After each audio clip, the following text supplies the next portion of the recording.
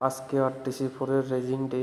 এই রেজিং ডেতে RTC four প্রত্যেক বছরের ন্যায় এইবারও মেলার আয়োজন করেছে।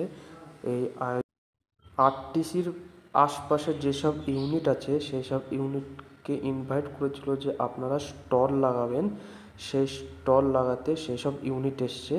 চলুন আপনাদের দেখাই সেই সব ইউনিটের মধ্যে কোন কোন। এটা তেইশ ব্যাটালিয়ান, পাশেরটা পঁচিশ ব্যাটালিয়ান। এরা সবাই ওয়ার্কিং করছে, আমিও ওয়ার্কিং করছিলাম। তার ফাঁকে একটুখানি সময় বের করে ভিডিও বানিয়েছি। ভিডিওটা ভালো লাগলে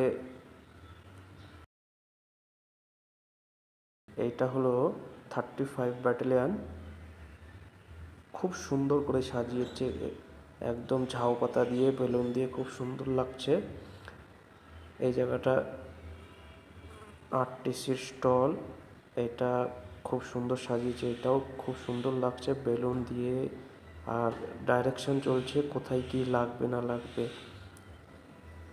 আর একটা স্টল আসছে, এটা ক্যান্টিন দিয়েছে আরটিসি ক্যান্টিন এখানেও খাবার পাওয়া যাবে।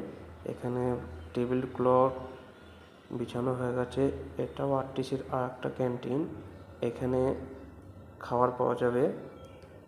এও খুব সুন্দর সাজিয়েছে। এত সুন্দর সাজিয়েছে যে ধারণার বাইরে। এখন তো কিছু নেই।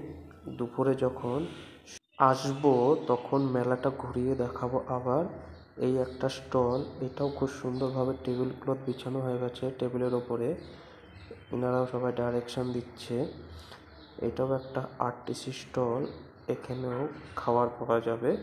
তো পুরোপুরিভাবে এখনও সাজানো হয়নি। সামনের যে স্টলটা আসছে এটা লটারি স্টল। ওটা